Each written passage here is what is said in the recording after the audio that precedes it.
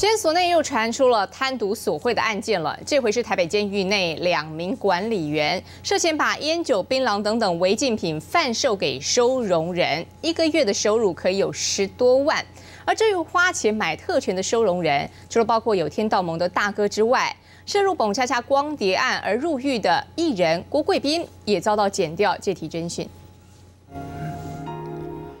高耸的监狱围墙内再传贪渎弊案。桃园监狱一名郭姓教诲师，过去在担任台北监狱管理员时，联合另一名吴姓同事，多次夹带违禁品，包含烟酒、槟榔、色情书刊、手机等等，在监狱内贩售给受刑人。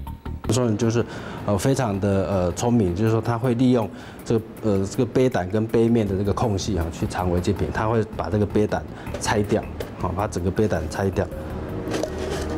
拆掉这里面就就可以藏违禁品。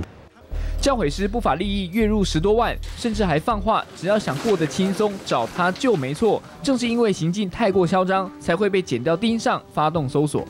郭教诲师这个案子哈，是